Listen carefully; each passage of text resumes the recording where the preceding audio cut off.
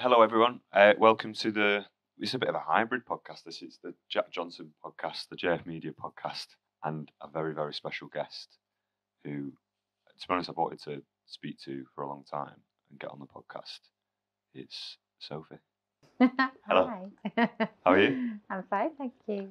Uh, It feels weird because I'm sat in here in Johnny's living room, so I feel like I'm like, welcome to your living room. Yeah. And we've actually got the youngest guest we've ever had on the Jack Johnson podcast, little baby Aria, who is the cutest thing I've like.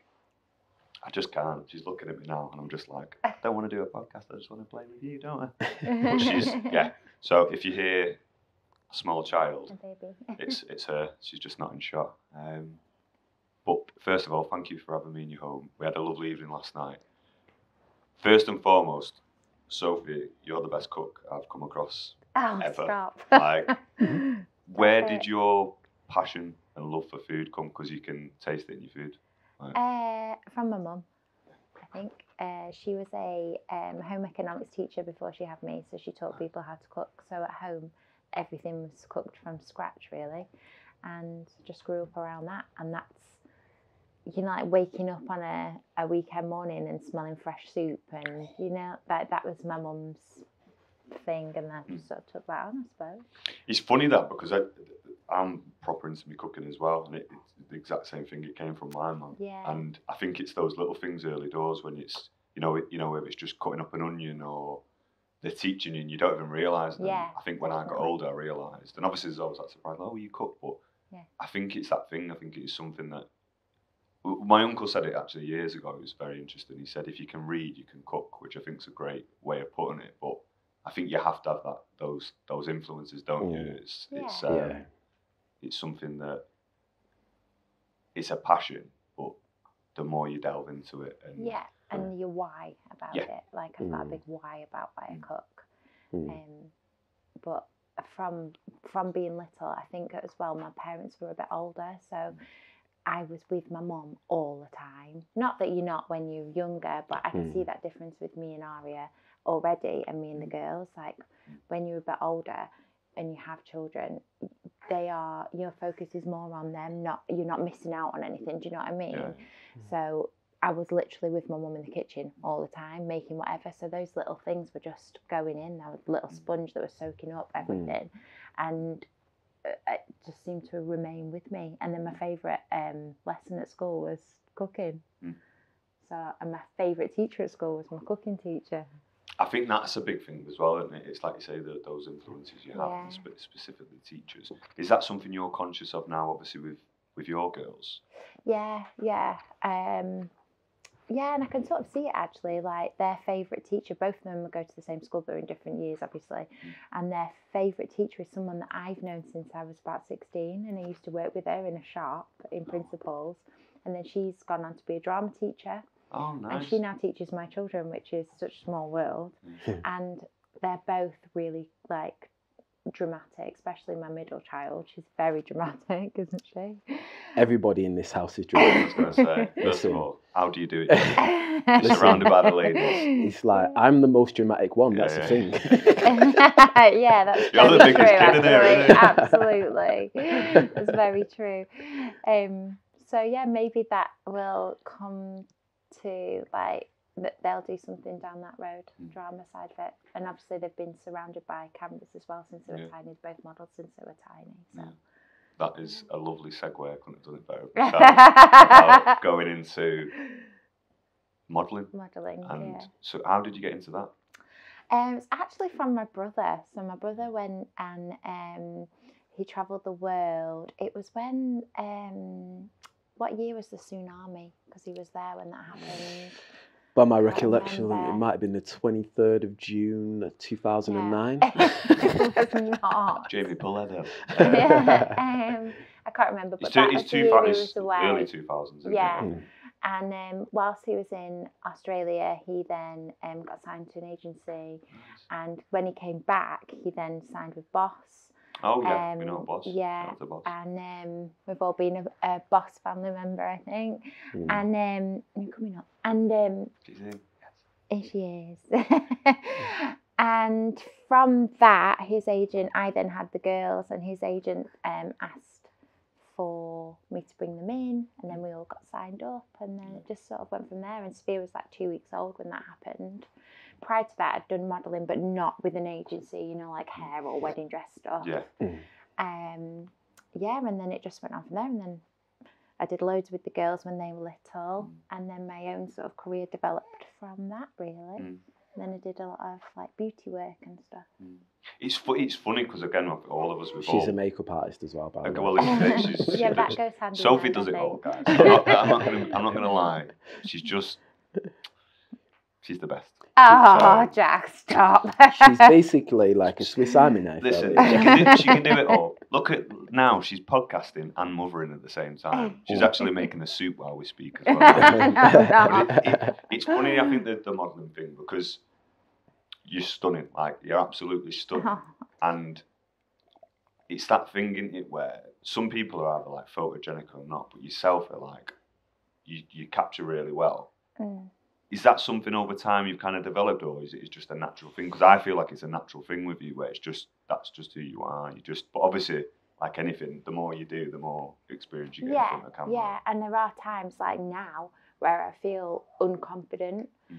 Um, with having a baby and whatever, my body's changed massively. I feel like I don't look the same at all, and um, but I know that if I just have a couple of sessions, maybe with Johnny, it will bring that confidence back, and I know just something that's in it, like you say, it's just in you. I think, and it becomes it doesn't it? I think it's something for myself. Like I actually am, I'm not bothered or actually really enjoy having my picture taken, but I know how to have my picture taken, and I think that's what it is. And you get to a point where you can you're almost like out of body, and you're like, oh, it's not about me. It's about capturing whether it's the, Yeah. the clothes or and you sort of know you know like what that's going to look like on the other side of the camera it, it, you need to have sort of experienced both ends of it i think Mm. and that's why i also like doing the makeup and styling because being help on set comes naturally if you've been in front of the camera Yeah. you, you sort of know what where to move or Yeah. um, you know how to position your face or whatever Mm. but again all of this comes back from my mum because she was a model Ah, I've seen pictures Yeah. of I I Margaret remember you Wright. saying. And all I need to say is, yo, Stop. what's Margaret saying? I Grandma's. um, the, the pictures don't lie, bruv. I mean, um, Stop. when I saw Um, Margaret, I thought, I'm going to be all right. You're In years to come, I'm going to be absolutely fine. The apple silly. doesn't fall far from the tree. Exactly. Yeah. No, I am literally a ringer for her as well. I look exactly like her. That's don't I? why you were chosen, babes. yeah.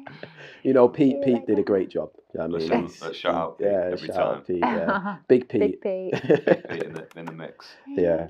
Um, I think I think going back to you know that's that's one thing that I didn't realise we had in common is that I got into doing modelling through my sister as well, Mm.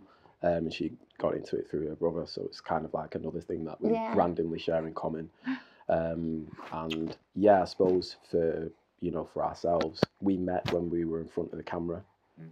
Now we collaborate from being behind the camera, and yeah, and I think that's really really important for, Yeah, for you what we do, do yeah. to to understand not, not I think just to kind of get the tone of, of what we're actually doing, give advice and, and just understand, you know, that a lot of people kind of are uncomfortable or you know all those people who go, Oh right, you know what, I, I don't take a good picture me and then they just need a bit of coaching and like, Oh my god, I, I look really good. And how many times have we had that experience Oh, with it's, people? it, to, to me, it's, it's it's like my favourite thing to do. It's Yeah. like capture pictures and footage, but it's, I think specifically in a, in a shot, like a photo, a Mm. photograph, photograph, photograph.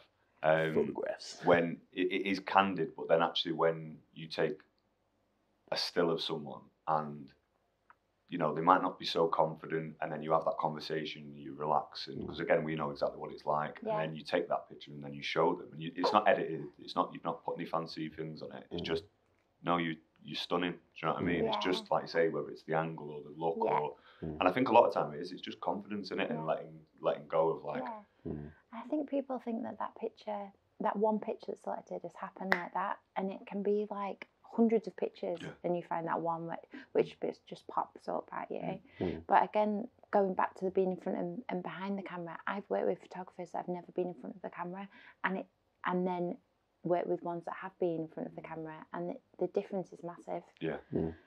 It, they just don't. It's just not the same. Mm.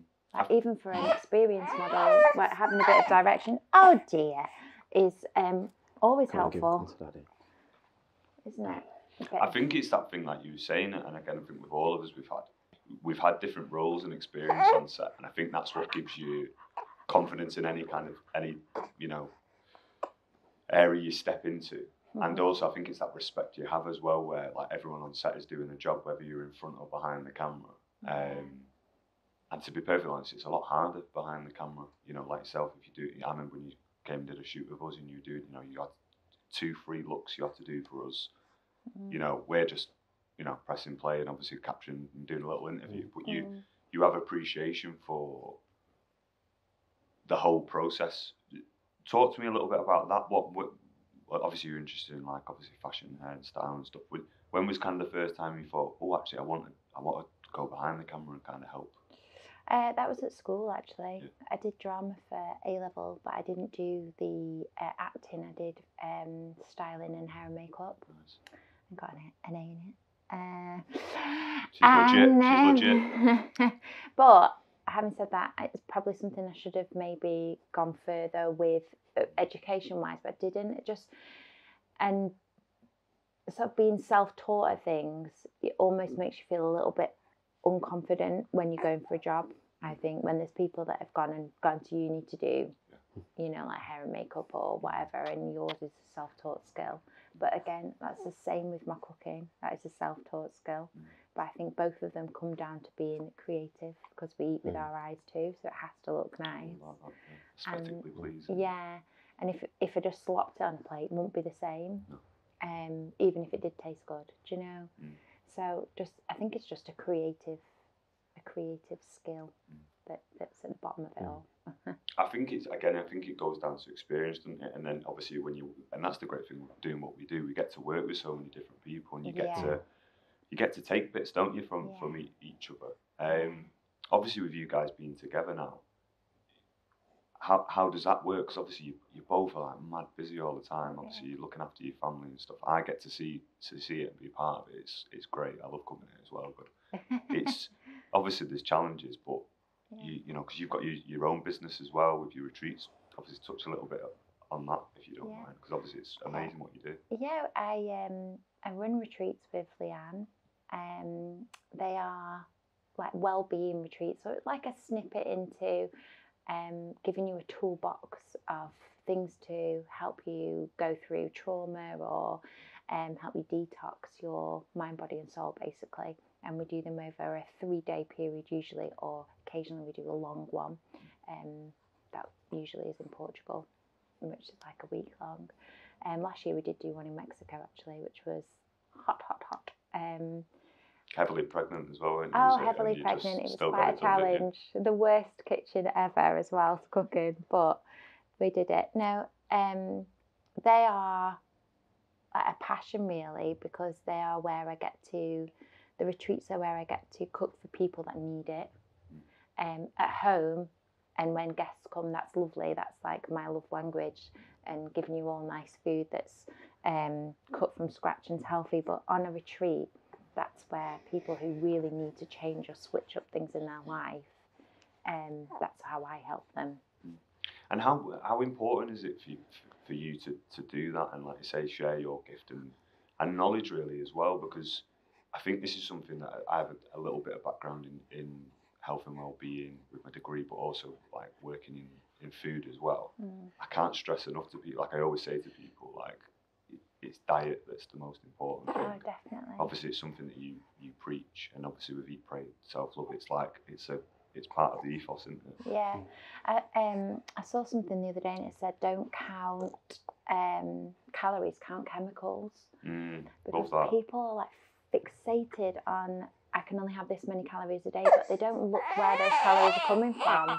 So, it, especially I don't want to put like a bad name on PTs, but they, they look at macros so much, they're not looking at where that source of food's coming from, and then Yeah. that is making people ill. Yeah, you might have stripped them down so they've got like 1% body fat, Yeah. but what they've actually created their cells on in the last six months while doing it is shit. Yeah, So true. illness is like thriving around the body, whereas if you actually cut down all the crap and all the chemicals, you'd lose that weight anyway. Yeah. It, it, it, the body holds on to fat to protect itself. Mm.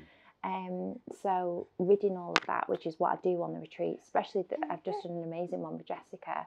Um, she literally wanted it all stripped back, so it was all organic. There was literally no processed food whatsoever, which I don't really use, but occasionally you might want to use a a bit of um, I don't know a paste for a Yeah. curry or whatever.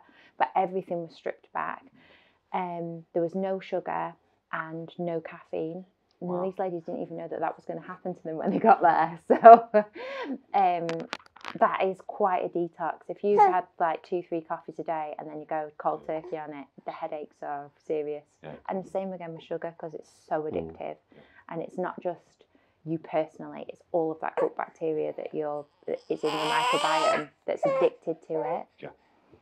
So Aria yeah, knows, it's hard. don't she? Oh She knows. yeah, you know. Well, you never had sugar, have you, love? no. She's like, I'm sweet enough. Yeah, I, th- I think it, I think it's important in that regard as well because, you know, it's it's something that's um, a passion, um, Sophie's, and I feel like it's something that she preaches and she thinks that is important.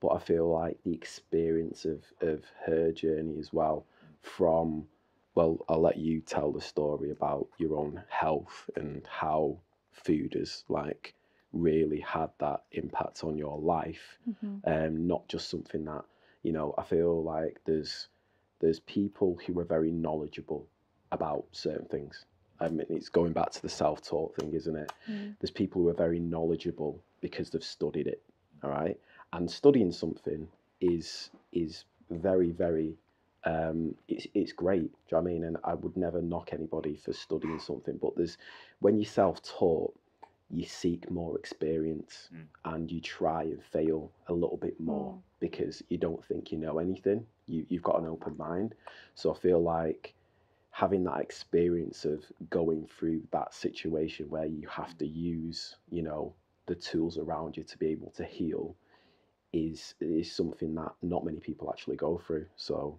why don't you explain that love No, what what a setup that was. Thanks. So yeah, my my experience. Um, I was going to say it started five years ago when I when I was actually really poorly, but prior to that, I since having my second child, I was diagnosed with chronic fatigue. So I spent it was four years until I then was whizzed into hospital, but I spent those four years searching for an answer because I knew that my feeling of it was almost like I was a phone that had run down its battery over the day and I'd plugged it in overnight and woke up in the morning and I'd not turned the plug on. Like it had been all night asleep, but in the morning I had zero power still. And I had two children under two and it was hard work, but I knew that it wasn't it wasn't something that I couldn't I couldn't solve, even though I was going to and from the hospital and at that time was um, sort of almost reliant on the NHS to give me an answer, which is what all of us do when we're poorly. We go to the doctor, don't we? Yeah. Um, and we don't sort of seek for some natural answer, or um, we don't trust in someone who isn't got a doctor label in front of their name. Something that I struggle with now when I'm helping ladies or, or men. Um, but um, in that search for trying to find my way out of this fatigued rut, um, I cleaned up my diet, um, started teaching people how to um, clean eat, if you will. I still ate meat at that time, I still ate bits of dairy. Um, it was mainly cutting out things like gluten, um, milk, you know, like the basics, sugar. Um, and then I was heavily into the gym. I love training, but I was very much that chicken, veg, cheese, broccoli kind of Yeah. which loads of people are, aren't they, when Yeah. you're training? Um, and also, women tend to avoid carbs, so that was a big, big thing that um, I did. And then I got rushed into hospital with really bad abdominal pain and really, really bad abdominal pain. Mm. And they were going to send me home with gastritis. And my mum was like, oh my dear she's not just ill, she's really ill, I can tell. Mm. Because I was a mum, I was a single parent as well. If you've got a bit of a tummy ache, you just get on with your day. I was there writhing around in pain, so my mum knew that there was just something, that mother's instinct, that, Yeah. that wasn't, it wasn't just gastritis. So they kept me in overnight, and then the following day, a sonographer came with um, to just scan my tummy whilst I was in my hospital bed. And as she was doing it, she was looking for gallstones, which were on more to your right side. The pain was on my left. Um, and as she moved it over to the left side, she noticed a large mass next to my spleen. And she looked at the nurse and said, You need to send her for a CT immediately. So off I went, scared shitless, like Yeah. um, didn't know what on earth was going on with me. And it turned out I had at the time a 10 centimetre mass attached to my pancreas and my spleen, and they weren't sure if it was inside my stomach as well. So um, I basically, just to wrap it up, spent nine weeks in hospital. It took four weeks for them to take out the mass. Um, I was on huge amounts of morphine, fentanyl, like all of the big guys of pain relief. Um, I was unable to eat in hospital because as soon as like this happened and the word cancer came up, um, we sort of looked into what I could do at that time to help myself before I, I got more poorly, basically. So I cut out meat, um, I cut out dairy, but the hospital couldn't actually feed me. And when I said that I was vegan when I was in there, they brought me that. You know that tube mix that's in the freezer that's like cubes of carrots, um, peas, and sweet corn. Yeah, it's like It was that on a plate. Yeah. That's all they gave me. And um, then I had I got sent home for four days before my op to be with my children, to write my will, to um, sleep in my own bed, and then I had a nine-hour operation uh, on the Monday morning to go back to, and they didn't quite know how it would come out with that. They definitely thought I'd be diabetic because I've only got a tiny bit of my pancreas left. They didn't know whether I'd come out with a um, stomach bypass, um, and it does actually say on my medical notes that I've had some of my stomach removed, but no one's ever ever discussed that with me, and I Mm. don't think I have, but it is on my notes. Um, and no spleen. So with having no spleen in the NHS's eyes, that's your immune system. So if you have that out, then you need to have antibiotics every single day. Um, so um, thankfully, I came out of it. I'm not diabetic. I never have been diabetic. But I did become more poorly after it, and my small bowel started to die. So two weeks after, I had to have another emergency operation where they removed some of my small bowel. They literally told my mum, "She'll be down for half an hour. We need to see what it is that's happening," because they had no idea why Mm. my bowel hadn't started again. Um, and they tried a few different things, like putting, um, you know, and they put dye in. and Yeah, to see what yeah, the they scan you like every hour to see where it's gone in your body. Mm. This dye got so far and then came back out, so they just didn't know what was going on with Mm. me. Um, and so I've had some of that removed, and now my, my issues with that is that my small bowel is full of scar tissue, so meat can't. I, I can't digest meat, or when I have tried to eat meat, I've been back in hospital because it can't get through this rigid bit Yeah. where your bowel opens to like four centimeters and back to close, it um it can't do that to get food through. So that that's where I'm at with that. So my journey then sort of developed into, well, I'm not going to eat what they tell me to eat. The sheet that they sent me home with was basically eat what's it's because that's all you can digest. Don't eat nuts, seeds. Don't eat um, fruit and veg with skins on. And so it left me with like nothing to eat Yeah. and I thought this isn't that this isn't this isn't the way forward. No. So research into like Dr. Sebi's an alkaline way of life, um, Dr. Morse is like juicing and enemas. Um, I sort of developed this protocol that has got me here basically. I don't take any antibiotics every day. I don't not diabetic like I thought I would be. And I pretty much can eat everything other than the meat and I don't miss it. So Mm. um, yeah, it sort of like went on like that really. I- It's thank you for sharing that because I can't imagine it's easy, and at the same time, it must be really, um, you must be really proud because, again, it's something that I think happens to a lot of people where you think, oh, I'm going through some stuff, and again, it's all individual, but at the end of the day, like that's just wild what's happened there, and it's something that you've you constantly had to learn and know in your own body, and like say Mm. with your mum, mother's intuition, knowing that type of thing of just going like she's she's not well, and Yeah.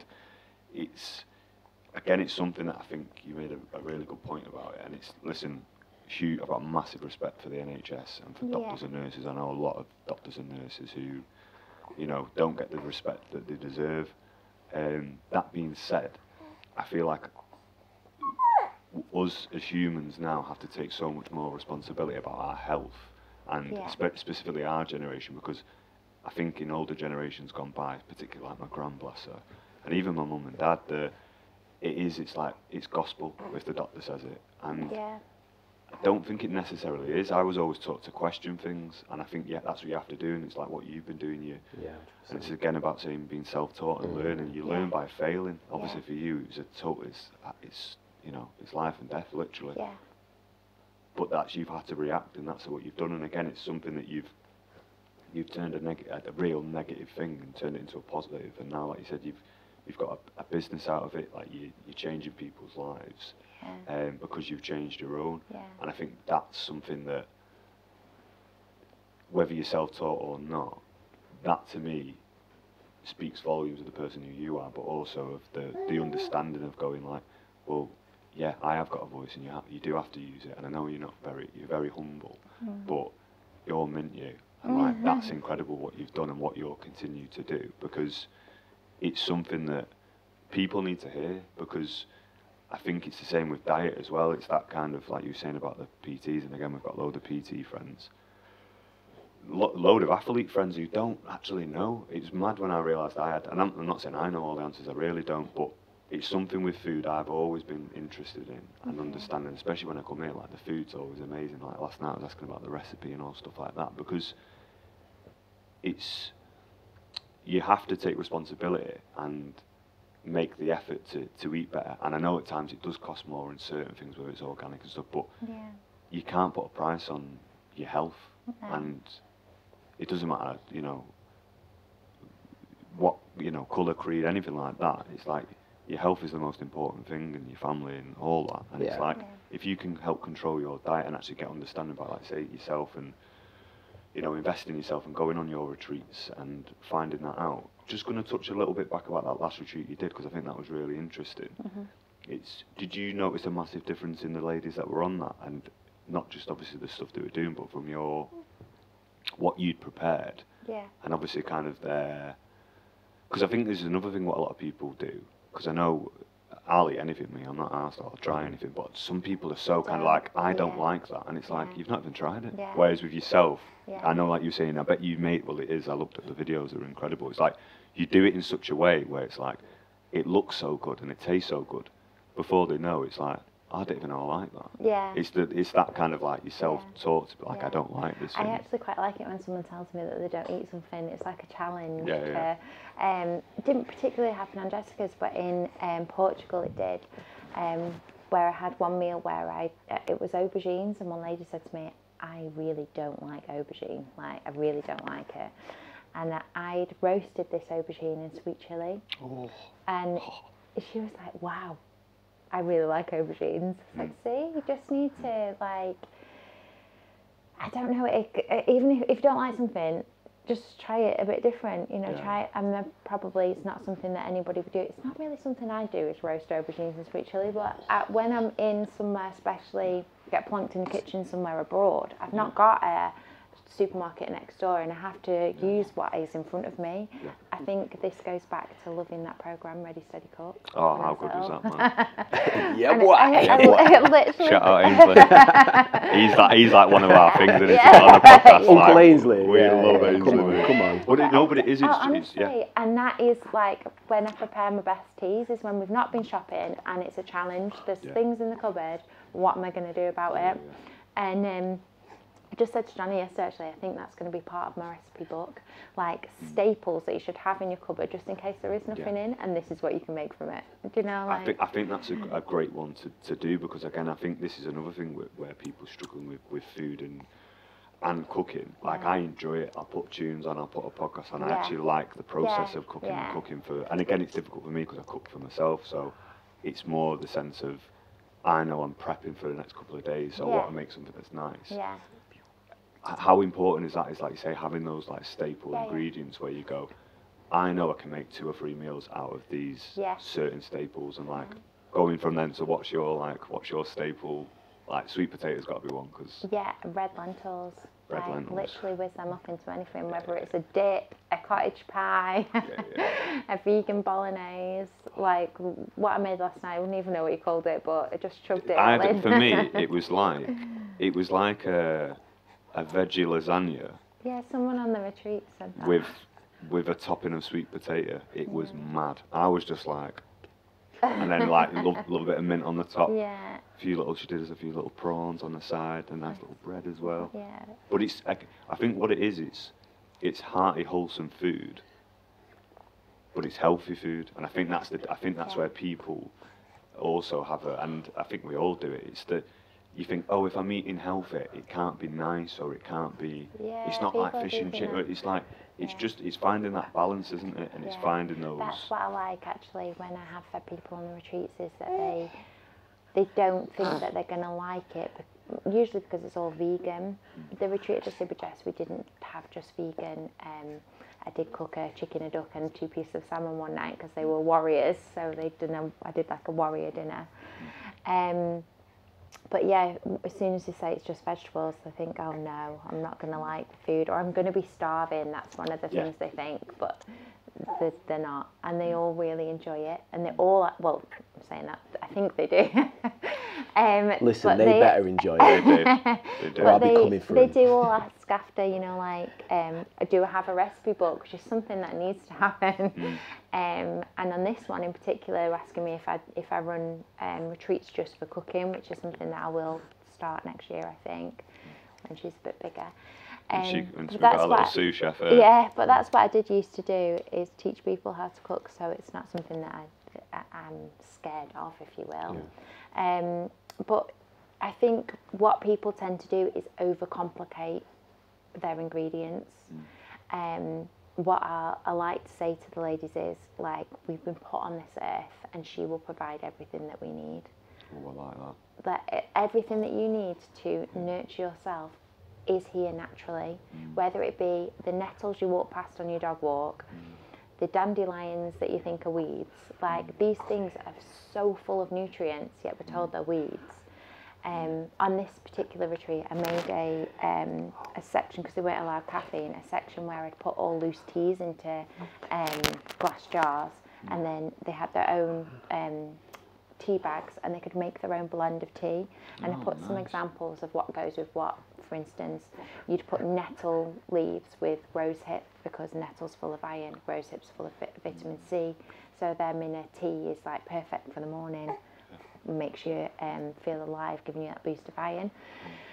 Um, so yeah, just little things like that. And then one lady was like, "I have all these in my garden. Like I can dry all these out. I didn't even know that I could do that." And it just those little like oh. little nuggets of information that then you know you're going to change someone's life a little bit. That makes me feel all warm and fuzzy inside. Yeah, but you, but you do though, don't you? Because it's like I know exactly the feeling of like when you cook a nice meal and you see people enjoy it. Like I know, I can see you last night. Like Yeah, You- it's really hard for me not to go. How is it? yeah, I know, but you can You obviously like when we. Do, yeah, I think the best thing that happens like no one speaks at all. Yeah. I'm just like absolutely wolfing it down. Like I have to proper stop myself from like eating it so quick. I'm, like, I'm in the because I'm normally I'm eating on my own. I'm like.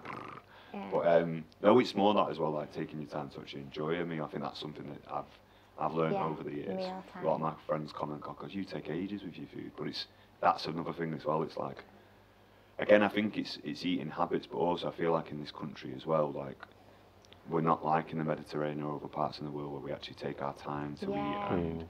you know, should. it's we should, you know, it's something that until you go abroad or on holiday or like say you sat around Mm. with family and friends, it's like it, that that you know having that time. Yeah. Um, And- And I noticed that on the retreats actually that they've had this like um, workshops throughout the day, and then when they come to the meal time is when they actually socialise. Because in the workshops you're just seeing people go through go through things, or trauma comes up, or it's you know emotional, or they're having fun. You know, it's Mm. Yeah, not yeah, all yeah. horrendous. Yeah, but it's focused, Um, isn't it? It's on that specific one. And then at the meal time, they sit and they laugh, and they so the food is quite a big part of that. You Yeah, know, totally. The, you know, oh, they're talking about what they're eating, and oh, what's this we're having? Because I'm not always there. I'm like tidying away what I'm cooking. I don't often sit and eat with them. Yeah. Um, but yeah, it is important that we have those moments, especially as a family. Like at the minute, our um, kitchen table's tucked away, but we do try and spend that time in the evenings sat around the table talking about the day. You know, Yeah. it's really important, and we just don't do it. Lives are so fast paced, aren't they? Um, that that gets lost. I, I noticed we do like specifically when me and Johnny are kind of uh, go away for a couple of days filming and stuff, and bless her, like Soph always like cooks us a meal, and like it's it's so nice to have that. I can't I can't tell you how nice it is because even on the road, like we we and try we try and be conscious. Obviously, sometimes we are eating sweets and stuff just to keep us going because we're on set Yeah. for at least fourteen hours, whatever. But I've noticed with us, like now, it's like we're turning to like let's get mixed grapes on the way home, or just little. Again, I think that's what it is. It's it's little changes, isn't it, that you can implement, little habits that will have a, a, a larger impact on Yeah. on yourself and then Yeah. hopefully others. Like Yeah. that's the big thing, isn't it? Yeah, and I think everyone thinks that I'm really strict, but I, now, right now, I'm not, and I've been really not strict, haven't I, whilst I was pregnant, and Yeah, I've been Um, strict, obviously. Obviously, Johnny doesn't With- do anything organic. with, he's just um, he's Mr. Organic. We call yeah, him. and pretty much I've I do have to tell her off quite a bit. Yeah, these days. But yeah, I'm a, I'm a really really bad influence because when I come, I always buy pudding, and my puddings are shout out Lidl. Mm. Uh, Lid- Lidl, if you want to sponsor us and give us some chocolate brownies. I blame my sister to be fair because she Yeah. got me hooked on them. But again, I think this is the other thing as well. It is it's balance, isn't it? Like it's Yeah. you have to have balance. Like we were Yeah. saying about fats before. Like I used to have a big one where people are like, oh, I can't have carbs or fats, and I'm like. Your body needs fats. Yeah. Like, What, I not ever? From, No. from almond yeah. butter. That's where I get my fats instead Yeah. of eating a load of chocolate. Yeah. I will eat chocolate, like everyone knows me. Yeah. Like everyone on here will be like, mate, you've got the s- worst Sweet sweet tooth I've ever. ever. Mr. Almond croissant over here. But it is, it's, and again, that's the other side of it with what we were talking before about like training and stuff. It's like, I train so hard so I can eat what I want, but how important is that, like you saying then, you know, It's training and, so and eating the right foods? Because you do feel better all round then, don't you? On a cellular level, right? So every day our body is creating trillions of shell, cells, shells, cells, and each of those cells then reproduces itself. So if you start creating cells, which are created on everything, your environment you're in, the stress levels that you have, down to like um, the um, candles you burn in your house, Yeah. Not just what you're eating. These cells are all produced on that. So if one of them has an abnormal, is abnormal, it's going to reproduce itself, and then that keeps re- reproducing, and then these cells group together, and that is what is your tumor or your cyst or your fibroid or whatever. Um, but as quickly as your body has made that, if you give it the right things to get rid of it, it will break it down. And that is the magic. And that's where I was a year on after I came out of hospital when I had my one year checkup. So every six months I'd have a checkup. Um, and one year after it, I'd had a scan to check my abdomen. And I went into that um, room, and my surgeon, who is usually really like smiling, happy, was not. And I immediately knew something was not right. And he sat down and he said, Sophie, how are you feeling? And I was like, I'm okay. I thought I was fine. And he said, Well, I just need to talk to you about your last CT scan. Uh, unfortunately, I think the cancer spread to your liver, and um, I'm really sorry you're so young to have to go through this again. And I literally sat there with facing secondary liver cancer. So, pancreatic cancer, only 5% of people survive. and then liver cancer usually wipes everybody out if it comes around secondary. And I was sat there like, oh my God, I've done this once, I don't want to do it again. It's been a long slog. Um, and I went away from that with a appointment for an MRI to see if they could burn, chop, or cut it out. And I just went and fasted So I literally fasted on green alkaline juice from that from that appointment to my um, MRI, which is an, it was 11 days actually, and then two days after that, my surgeon rang me, and it was just before a bank holiday, and he said, Sophie, I just wanted to let you know. I was like, oh my God, surgeon's ringing me, it must be horrendous, but they're like getting me in now. Yeah. I just wanted to let you know the MRI came back clear. That's wild, man. And I had literally And that's all you've done. You I've just done like four enemas a day. So with a coffee enema, you um, it, it the water is absorbed obviously through your rear end, Yeah. and it goes through your um, large intestine in back into your body as it would if you've had food and it's sat in your large intestine and it pulls the water out. Um, so then it goes through your liver to cleanse it, um, and then through your kidneys and out through your urine. So I'd literally been cleansing my liver over and over four times a day with these, um, like my hand gestures, know. with these enemas, and then um, from the top end being having alkaline green juices, Yeah. about six of them a day. Um, didn't stop life, carried on. I've got two children. Yeah, At the time, I was opening Sophie's Kitchen and food prep. I was literally wallpapering a wall because I couldn't focus, let myself focus on how poorly I possibly was. Yeah, yeah. I needed to focus on something else. Um, but yeah, so as soon as you can create something, you can get rid of it if you have the right tools. You know what to do. It's, I think, yeah, I think that's a really important message from. I think there's going to be a lot of important messages today, but I think it's that, isn't it? It's like you say, it's how you react to, to, to news as well, and obviously what you've been told and what you've had to, what you've already gone through. It's like, how can I react to this in the best possible way? What yeah, because I could can I have definitely gone the other way.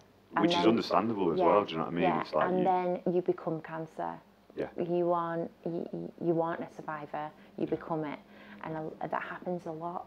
Yeah. People just hear that big C and think, "Oh my God, that's the end." yeah, yeah, of and course. Your your body only listens to you. So Mm. every single cell you've created will listen to what you tell it. So It's, if you it's your tell ass. it's what Your your, ass, ass, yeah. Yeah, it's your ass, so if you tell, if you start thinking, "I'm really poorly," your whole body will react to that. I'm really poorly. Hold yourself like, Yeah. you know, differently. Shall I give a really uh, boring explanation of what that is? Go on then. It's called your reticular activating system, and what your brain does is it looks for proof based on what you think in your head. So that's how you create your own reality. So if you think you're poorly, all you will do is look for evidence that you are poorly, and that is a self fulfilling prophecy as such. And that's what the reticular activating system does. It chooses what you focus on from day to day. Yeah, that's it. There you go. Well Knowledge. yeah. Bars. Yeah. See, this is what happens on this podcast. And, we, we and teach you Baby just to gone live be sleep as well, so you know what I Listen, mean. listen Johnny does it those- all. Between the pair of them, they're just what can I say? Ah. They're the best. They're the best. Um, let's let's switch it up now and talk about this morning and what we all did. Oh yeah. So last night they were like, "Do you want to do a cold plunge tomorrow morning?" And I was like, "Yeah, yeah, yeah." And then obviously this morning I was a bit like, "I don't know, you know, it's pretty cold up in up in Chorley, up, up into Ills Up where we are." Um, but we just got after it, didn't we? Talk to me a little bit about that. Like, how did you? Um, so the benefits of cold water dipping are vast, like really, especially for someone like myself who has no spleen, who has to maintain her own wellness because my body can't really fight fight illness like everybody else is. If you um, cold dip and you get the nape of your neck in and you stimulate the vagus nerve, it will ignite your immune system. So for me, that is particularly important, but for everybody, especially this time of year, is really important. Um, and also, when you get in the cold, you notice like all your blood goes to those things that need it. So it will surround your organs. Um, it will surround the areas that uh, ha- have tension. So often, if you've got a really knotty neck or shoulders, and you get in the cold water, they will really hurt, like really, really hurt to start with, because all that blood's going through them, um, and then all of a sudden it disappears. Um, it's just, it's just so beneficial, but uh, uh, mind over matter experience because it doesn't feel like it's going to be very nice. It's horrendous. I'm not even going to lie to people. I've, I've had a little experience, and, and eventually I will get Josh on the podcast, who's a good friend of ours, who is actually a Wim Hof practitioner. Um, I know me and Johnny do the cold showers in like when we have a shower. Last kind of thirty seconds, we put cold water on.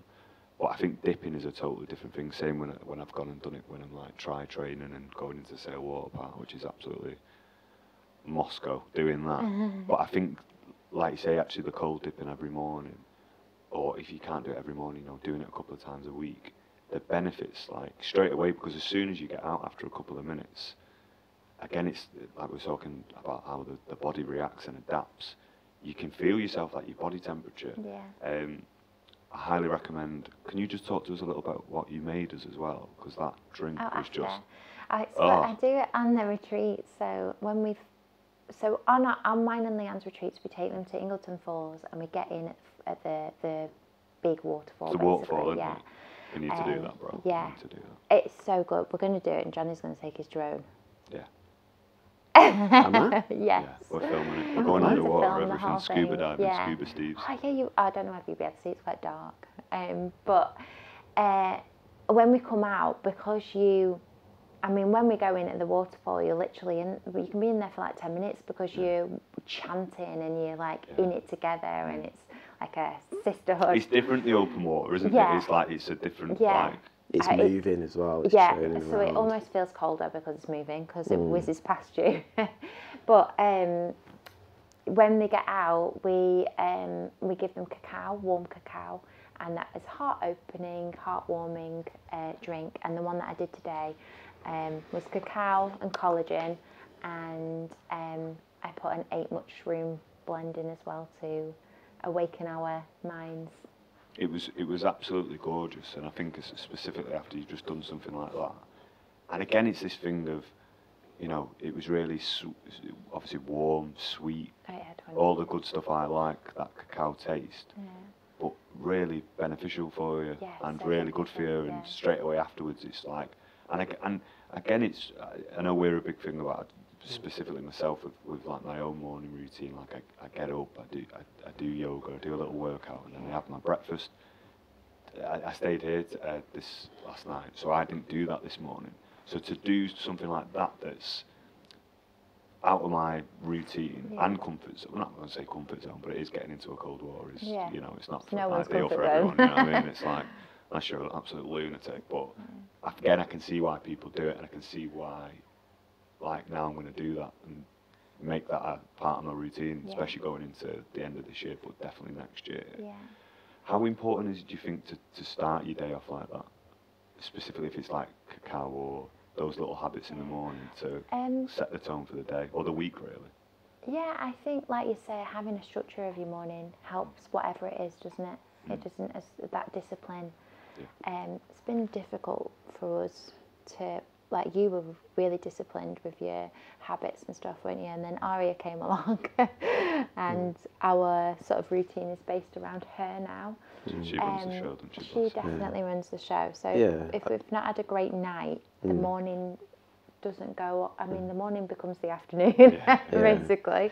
I think I Um, think it, on on the same breath as that as well. It, it's always very when you're in a routine and doing something and you're making good progress. Like I always feel like you know life happens to everyone, and I feel like going back to sort of like you know the the good and bad and foods and what you should or shouldn't be doing.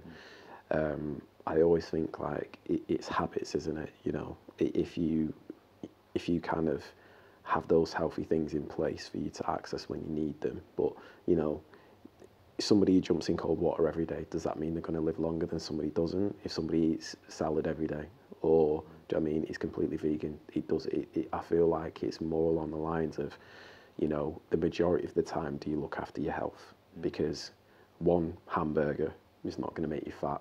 Just as one tra- training session won't make you an Olympic athlete, it's it's what you do over a period of time. And I feel like you know, for us as well, especially, you know, our habit, our habits and routines have been changed by her, but I feel like we've still kept those healthy things in there, but they're Mm. just they're just muddled around. So maybe they're they're kind of put in when when we can. We have the garage, we can you know train in there. We can go for walks. Luckily around here it's really nice.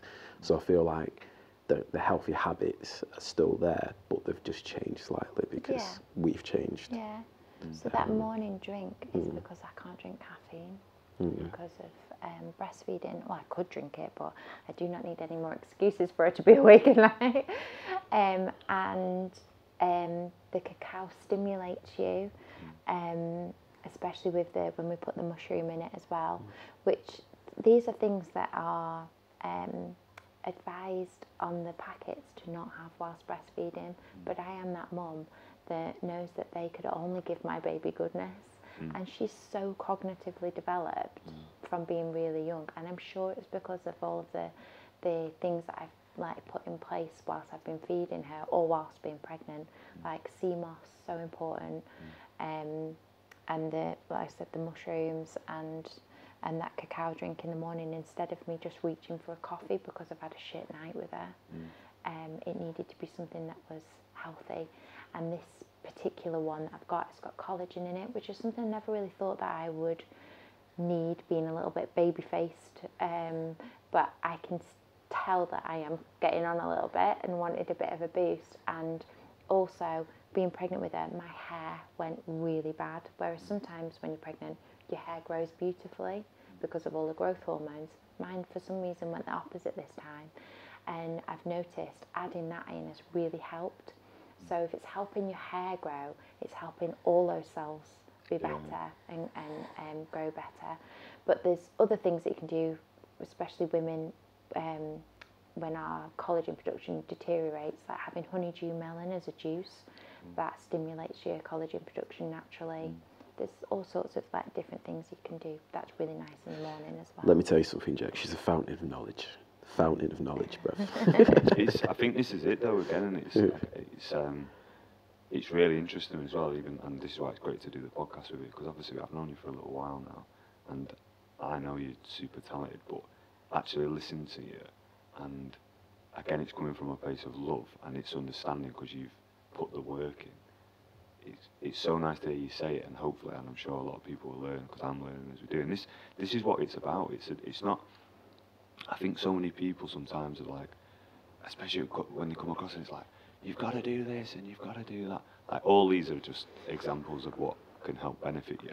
But I feel like all of us are coming from a place of like self-discovery. We're trying to, im- Yeah. you know, we're trying to improve. We're trying to evolve, and it's it's picking up these little little bits here and there. It's not like Yeah. it's not like you have to become a vegan and you have to do cold Like plunges said, every morning. The It's like- veganism is literally because my bowel is Exactly. full of scar It's, tissue. it- but it's, it's, it's about adapting and, and listening to yourself of like how far you've come on your journey. And then, like you say, it's, it's passing on knowledge at the end of the day. And obviously, especially now with this next generation, yeah, it's so important to to give them this information because we didn't we didn't have it at the end of the day. And it, it's not our parents or our grandparents' fault because they didn't know. and dad have no idea They just yeah, this. man. It's, I remember when I came home from uh, from uni and I cooked for my mum and dad, and um, I, like I roasted the veg and then like blanched, you know, like broccoli because obviously it loses all Yeah. this like nutrients when you you know if you absolutely boil it like they're used to doing it.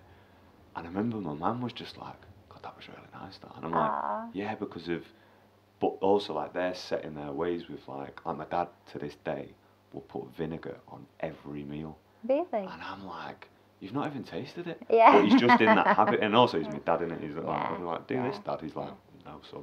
I Yeah. brought you up on this bread, son. This is what it is, like, This is, this is, you know, meat and veg. You know, and, and it- which I get, do you know what I mean? But I think it's, again, I think it, listening to, to, to yourself and how passionate you are about it. And honestly, trust me, the food's amazing.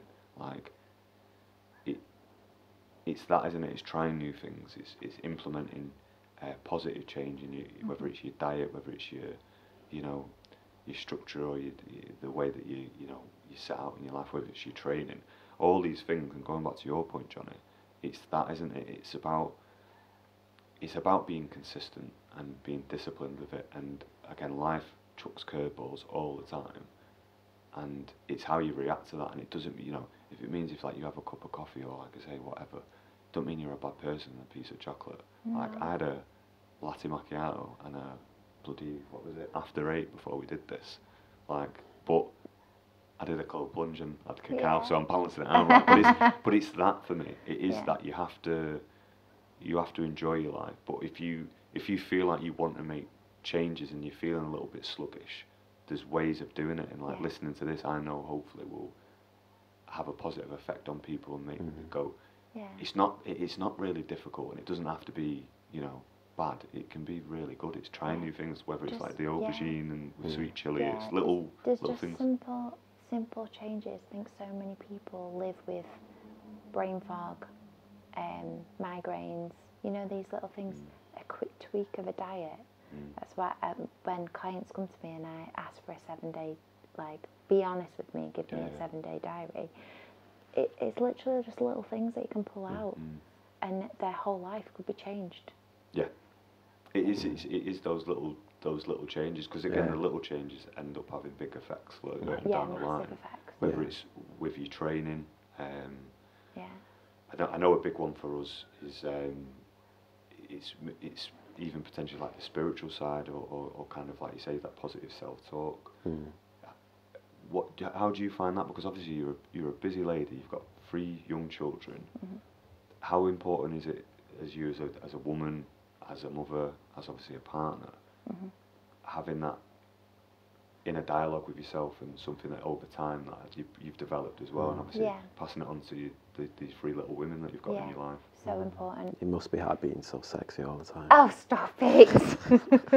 no, it is so important. And I think that's what got me through being in hospital for nine weeks. Like, I, I was so ill, I got segregated into my own, own room so no one else could see how poorly I was. Mm.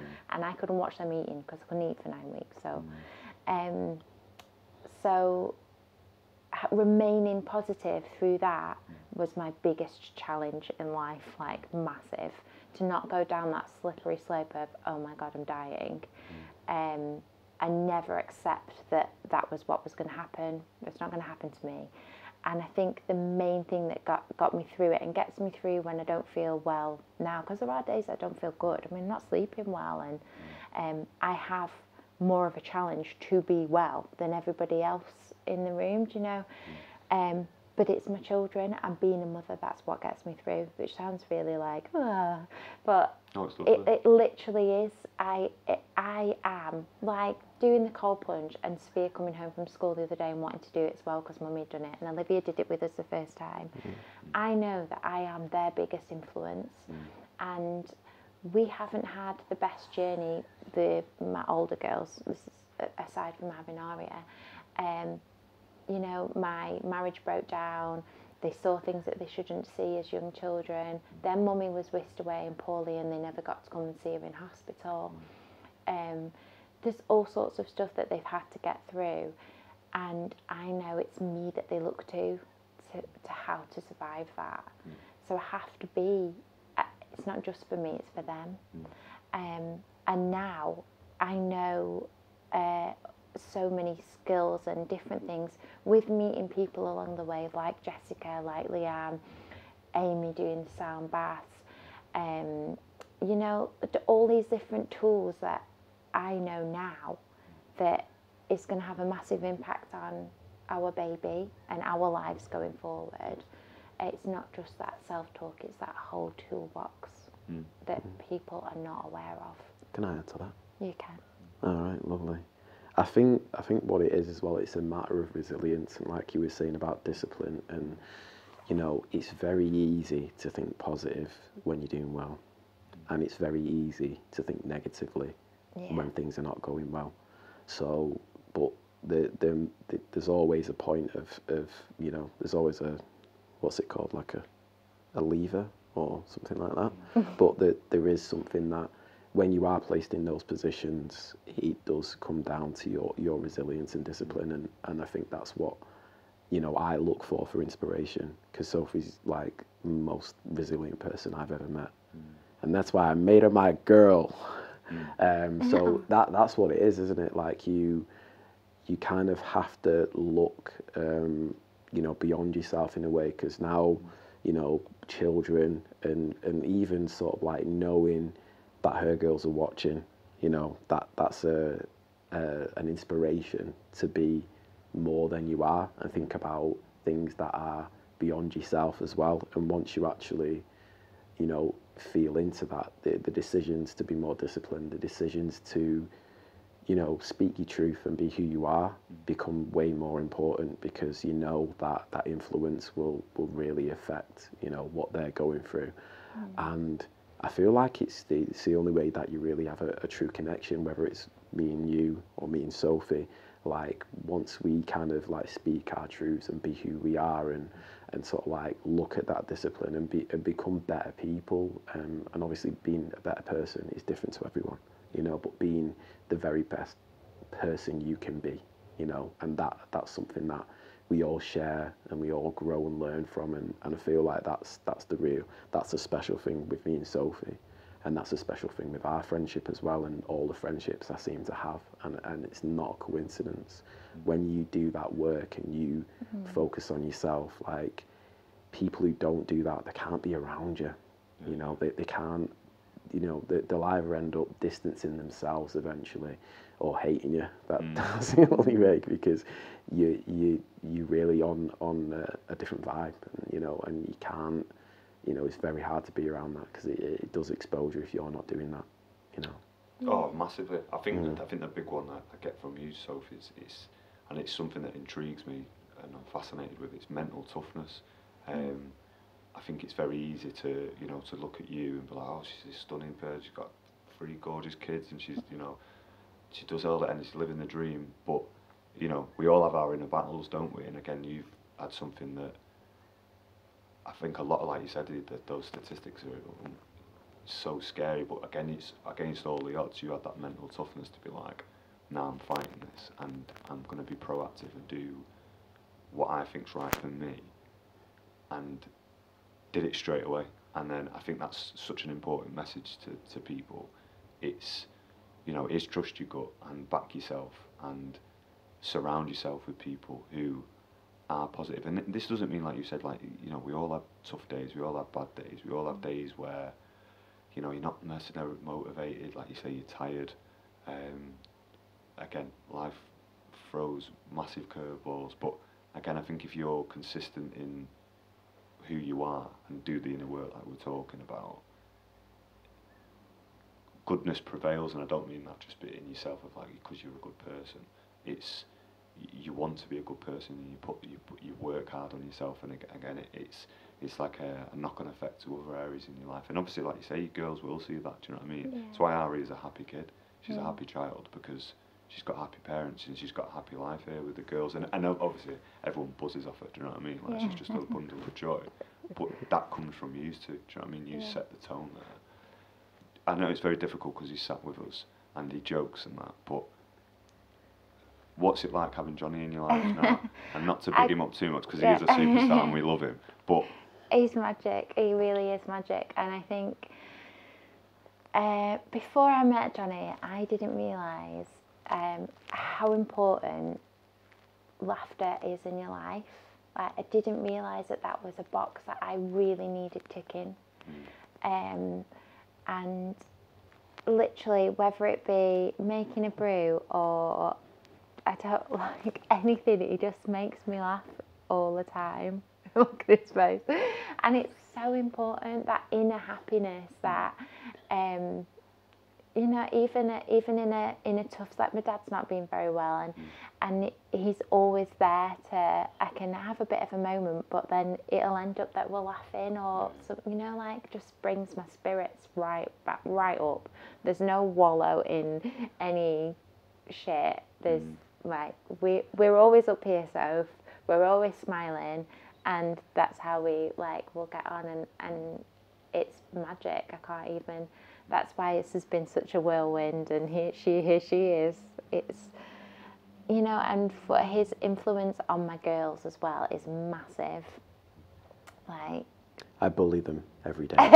no, no, but I can see I can see Hey, that, and yeah. it's so and also like I think it's, but uh, from my point of view of Johnny, because obviously it's like, you know, all you want of- as your friends or you you know me and Johnny are, have become really close over the past few years.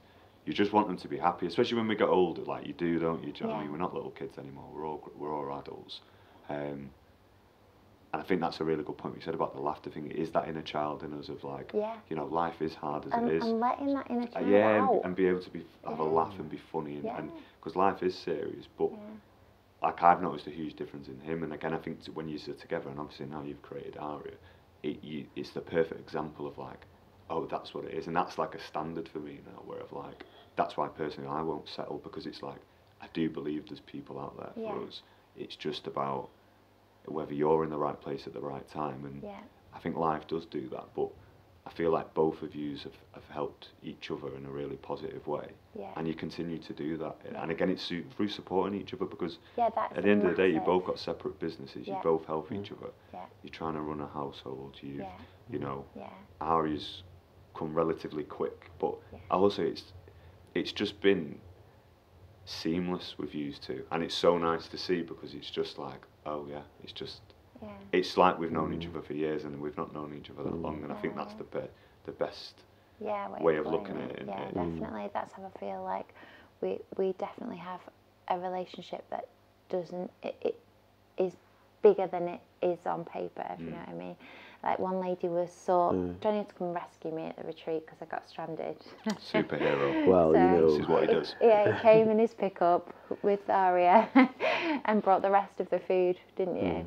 And um, one lady asked me a couple of days after, "How long have you been with your partner?" And I was like, "Oh, it's not been that long. It's like it's not even two years yet." She was like, "Wow, I was watching you through the window and I thought they've been together for a long time." Mm. And that's the kind of like relationship we have with each other. Yeah. That that is because we've both done the work, like you were saying, Mm-hmm. and we've come together Mm. um, at the point when that's that's done. Yeah, and and obviously I don't want to like, um, sort of like mislead people in the fact that you know, doing this and being together, it you know the, the things that we do on a daily basis, like the girls and Aria and parenting and working, they are things that we have to navigate and communicate with each other about. It's mm-hmm. not kind of like we just have a laugh and do you know what I mean? Ha ha ha, Yeah, let's it's have a not. baby. Yeah, You know, like, Yeah, We have to but live, yeah. yeah, so we, we have to navigate these things. But I think it's, you know, based on our communication and what what we kind of like want. To, you know, at the end of the day, we want this to work, and I mm. feel like that's what it's based on. We want this to work, and you know, I'd do just about anything to make that work, and I feel you feel the same. So. As long as we have that in mind, we can just, you know, we can navigate a lot of things. I mean, I do have to tell her off, as I said, but you know, mostly she she's she's very the very best person I've ever been with, and I feel like that that's the, you know, going on from what you said as well. You know, I didn't realise the the boxes that you ticked before the, the like the box wasn't even there to be ticked, and I didn't mm. realise. But Yeah. I suppose like when we look back, you know, people that have been in our lives before, you know, when you do the work, some of those people at that time, you know, they, they wouldn't qualify to be in your life anymore. And I mm. think that's really important to, to really realise that, you know, you know, the, the things that we've been through and, and, you know, things that didn't work have led us here and, and that's a great feeling. Yeah. You know, it really is. Yeah. And she's like, um, there was nothing to say that I could actually have a baby I know, I know. because I've only got, I've not got the organs to run a, uh, one human properly. So to then be gifted with her was a massive blessing. Isn't it? On that bombshell. Yeah. baby number two. Surprise, Jonathan. We've got a surprise for you. It's um, no, I think again, it's something that I genuinely like admire the pair of you individually, but as a as a as a couple a working couple. And a working couple. And, and again, I know you put the work in, and, and I know it's difficult because also it's not. You don't do normal things in the sense of like a normal nine to five, No. or you know you. We you, have to navigate. You, do, and it and it's it's constant. Um, it's constantly adapting to the to the other person, which I know everyone does in a relationship. But again, I think when you chuck that into you, in from a business point of view, especially with us, like we can get a call and it's like we need to do a shoot, or Yeah. um, or like last night, you know, we we Sophie made us a lovely meal. We had a lovely pudding, and then obviously it's Ari's bedtime. We we ended up go, oh, going in there and doing an edit. Then you pop down on the stairs. And Yeah. it's just, I think it's that, isn't it? It's that understanding of like Oh yeah. there's there's times when, and again, I think that's like you say when you're having those Mm. laughs and having those moments, you Yeah. Mm. you truly cherish them because you both know that you're busy people and you've got lots of stuff going Yeah. on. So I enjoy think that those comes moments. actually from being on your own for a bit Mm. because you appreciate that time for yourself still. Mm. Like, and I know Johnny appreciates his time and his own still. So if you have that appreciation, you're not so needy and clingy and have to be together all the time. Um, you can, I like quite happily be like, yeah, go on, go off to the track for the day, and then come home and do whatever you need She to do. She tries to get rid of me all the time. We're not on top Oh, of each So Each other. being like, tell him to cook. Where is he? do that that mum talk to the teeth. Yeah, Get him out now. Yeah. No, uh, no, it's it's. We've both been through things that we didn't want to have in our relationship, so they're not going to be present in this one, and that's where we're both at. And I think that's important. Money, Another don't th- in life with things that have happened, and it's you know, negative things do happen, and it's how you react to them. And it's sometimes you do have to kiss a few frogs, don't you, to get to Prince Yeah. Charming or for yourself, They're- Johnny. Do you know what I mean? It's not, and again, it's and also I, I think that's another thing as well where it's. I know in my past it's like you know I've had relationships that haven't worked out, and it's not they're bad people. Right. It's just taking responsibility in Yeah. yourself and going, that just wasn't the right time. But also, it's learning from those experiences and going, well, I'm not going to tolerate that moving Yeah. forward, and I'm going to have standards and Yeah. hold myself accountable first, and then hopefully have that in a partner who reciprocates it. And Mm. it's it's really important that, and it's Yeah. really important to understand that you know we're not perfect, nobody is. No. But if you can be with a partner, whether it's in a in a loving relationship or business, and I know that's helped with with me and Johnny. Like we're Yeah. friends first and foremost. Yeah, But similarly with me we've got Leanne. we've got standards and morals and values, and it's anyone now who I who I do work with. I try and keep that because Mm.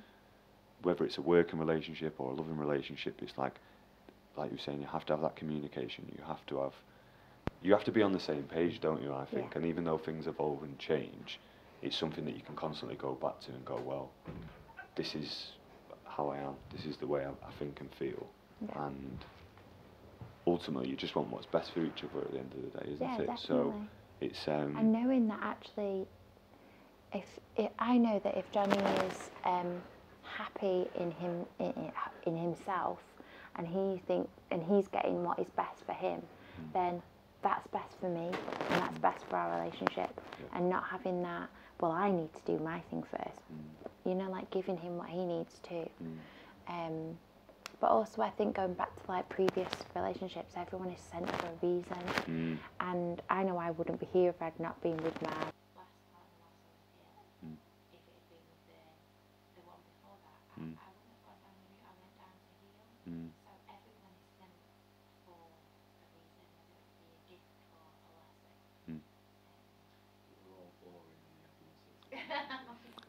They're just not. They're not Jonathan Ferriman, Brev. So they're not Sophie Baines. So if if there's anything advice I can give, be more like them, and that'll be. Yeah, stop. Don't be. a Challenge yourself. Have cold water dips. Eat vegan food. Um, no, honestly, thank you so much. I think we'll wrap it there because, and also this is a positive thing. I think we'll, well, hopefully we will do another one as well, because there's so, far too much to talk about. Um, and also, do you know what as well? I think this is could be, this could be a really good one potentially moving forward where we do this and invite other guests on as well because I think it's again I think this is what it's the art of conversation and having these conversations.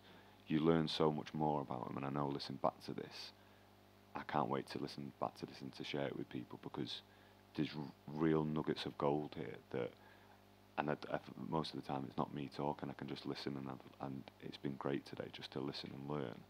Um, and I think that's a real key thing in this. Like there is absolute gold in this. So please listen to what to what the boys and girls have been saying in this because it's it's really difficult at the moment to to know who's you know speaking truth. There's that many people. There's that many voice boxes. There's that many podcasts, and it's why I've stopped doing mine to be perfectly honest because you're so busy doing other projects, and I'm dead excited what what I'm doing at the moment. It's I'm I, I'm working so hard at the moment. I'm so happy, but I'm so glad you said to do this and capture this moment because it's really important to document these moments because it's where we are in our life. Like we're very fortunate. We're all healthy and happy, and I know that's come through working on ourselves. But also, it's like we've we've all had tough times in our lives. Like we know everyone has, but there is a light at the end of the tunnel.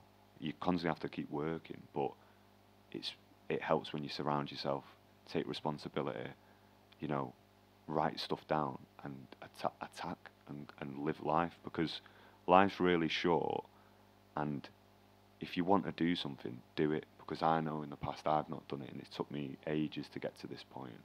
and now I'm thinking God I wish I would have done that younger but you can't think like that it's it, everything happens for a reason it's our time when our time is um, but if there is something that you want to do like go for it because once you start doing it and you find your purpose or your why it's funny how life starts turning really quickly and you're like oh I've done that. And there's a reason for that and it's taking responsibility as well of being like oh I'm really I did the other day. Some I, I got I got something happen with a film I managed to box something off for a film and I was just like I'm sick me. And everyone was like yeah you are. And I was just like I, I hate that so like, oh, but it's it is it's it's having that ability to a couple of years ago I wouldn't have done that because one I wouldn't have got that DOP involved but also I wouldn't have took responsibility and gone I deserve praise or that like say we were talking about like self praise. That doesn't mean you go around and look in the mirror every two minutes and just think you're the best thing sliced bread. I don't I don't think that's good advice either. But I think it's like we are saying that positive self talk, being kind and nice to yourself, and that starts by doing simple things, whether it's exercise, eating healthy, drinking water, cutting down on negative things, whether it's like alcohol, whether it's drugs, whether it's like chocolate, whatever it is. Make those simple steps and you'll realise you'll live a healthier, happier life and a, and a lot more fulfilled as well. Um, Can I add to that a little Yeah, bit as well? Like, you know, I think we always talk about self worth and we talk about um, you knowing your worth and, and all that stuff, but I often feel like it's not about going out there and demanding other people treat you how you want to be treated. I feel like it's more understanding where your value is and Mm. being of service to others. And I feel like that is how you, you learn your worth. And I feel like it, it does come from the out the inside out. But once you start, you know, putting that out there, then it really is more about how valuable you are to other people and how you, you help them. And I feel like for you as well, like boxing stuff off, I feel like that's you learning that you're, you, you're very valuable and people respect what you do and you're of service to others. So people actually turning around and helping you, they feel compelled to. And it's the same with you and it's the same with myself.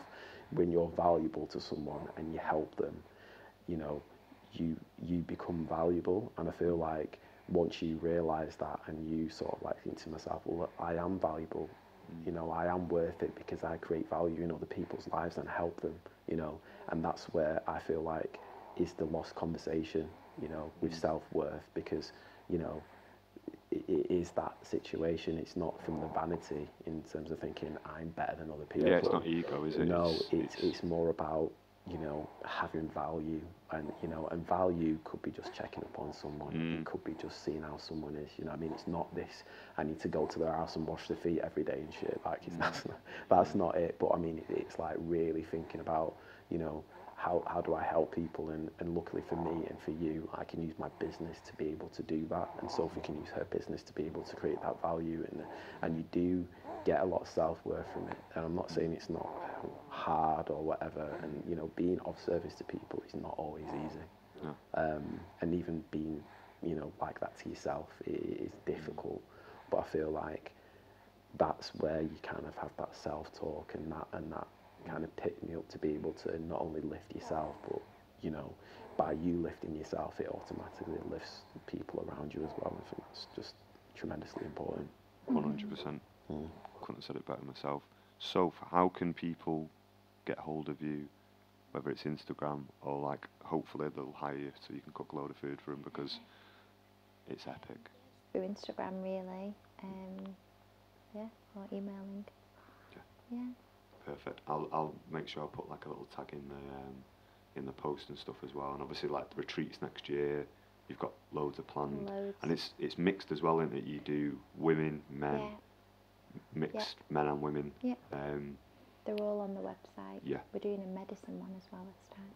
exciting, and hopefully at some point we're gonna have um, your cookbook Yeah. at some point. That's We, the we are, we've, yeah, There is Mm. plans, There's there? plans in the future. I'm looking at Johnny like, Yeah. you can help me, aren't you, Yeah. babe?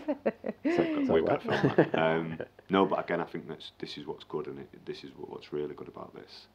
I know I've done it in the past with, with my own stuff, with its films and stuff like that, and I've said it on the podcast, and I'm actually doing it now, and it, it holds you accountable. But also, Yeah. it's it's nice to hear what you were thinking at that time, and then, like you say, what what's going to come of it, because I think there's, I see big big things for you, so because I think you honestly, genuinely one of the nicest people I've, I've ever met.